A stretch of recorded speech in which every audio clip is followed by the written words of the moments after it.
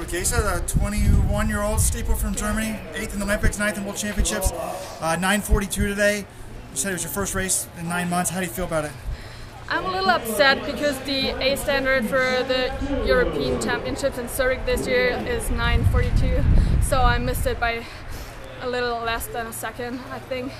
So I really wanted to be get the A standard here, but it was my first race for nine months, and it's uh, really hard to get back into it. And so it might be a good start, and I will definitely get the A standard and like getting closer to my PR again.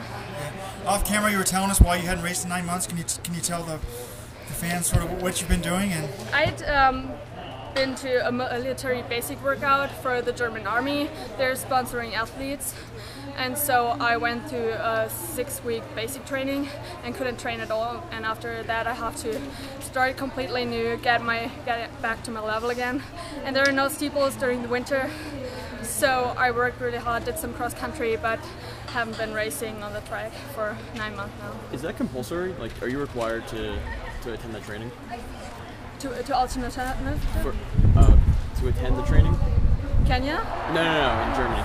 you don't have to join the military, right? You just joined to get sponsored for it. Yeah, yeah. So it's kind of a, um, a sponsoring from the German Federation, and they want like athletes to work for the military, but our, our work is like doing sports. And though they pick just the best athletes from all over the disciplines. Yeah. Does it? Did, you know, why? I guess why you've been off the circuit, the American Emma Coburn won and the, won the Diamond League race the other day. Does that give you hope to sort of see a non-African winning? Is that exciting to yes, see? Yes, definitely, because in the Olympics I beat Emma Coburn by three hundredths of a second. So we'd been pretty close, and uh, she got injured the year before, so she did really improve, and I'm happy for her, and I hope I can do that too. So that definitely give me give me hope. The steeplechase is something Europeans and Americans are pretty good in because it's not just about running; it's about rhythm and like a lot of concentration. You have to focus on the hurdles and not just on running. And I like that too. And I really want to improve myself and getting closer to Emma this year, and hopefully set a new PR too. And then we'll see. With your English being so good, did you ever think about coming to school in the States? You could have come and run for Oregon or you know, one of these big schools over here.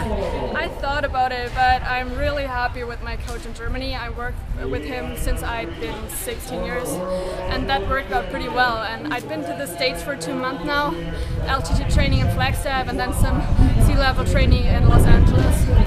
So I like the States a lot, and I really want to come back here for training but I think I'm happy with my coach in Germany, and I'm really happy to go back now and like work with him again. Did you go to university over there?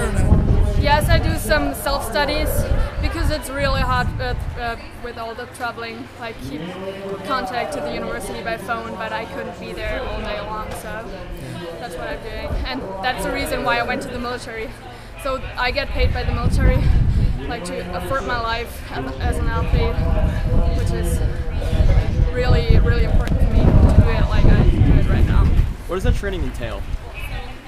Uh, where? The basic training. The basic training. What does it entail? Oh, so you learn every skills like someone at the military has to do.